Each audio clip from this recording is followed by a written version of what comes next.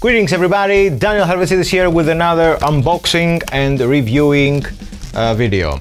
Today I'm going to unbox for you guys the Tama MXA53 auxiliary hi-hat attachment.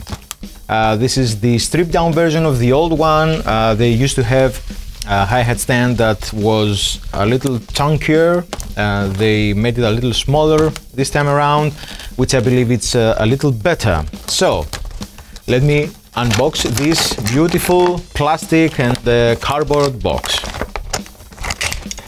This is the boom arm that holds the hi-hat and this is the fast clamp that Tama uses. Uh, this is a fine piece of uh, metal uh, clamp. Uh, I know all the Tama stuff and this is uh, one of the greatest out there. So the way you mount your hi-hat is you insert the boom arm here. Let me tighten things up. And uh, yeah, this is what it looks like when you've got all the stand assembled. So now I will attach my auxiliary hi-hat on this area of the drum kit and I will show you how this thing works. So here I am with a pair of hi-hats and the Tama hi-hat clamp attachment. So you place the attachment on a stand like this. You make sure you tighten this thing very good so that the stand will not move and be safe because the hi-hat is a cymbal that we hit very often. Now, this thing rotates as you can see whatever direction you want and then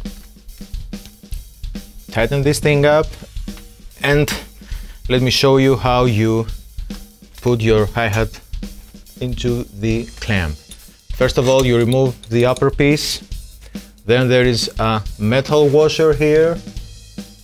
You remove this one and then you remove the plastic washer and there are two felts for your top hi-hat cymbal. Then you place your bottom hi-hat downstairs Yes, that's right. And then you insert the plastic sleeve with the felt here. There is a spring that holds your top cymbal up. Then you place your top cymbal. Then the felt washer and the metal washer. As you can see, there's a lot. This uh, spring has a lot of strength then you insert this piece right here and you press it down. And now, depending on the pressure, the hi-hats will be very open. When you press the lever down, it will be closed.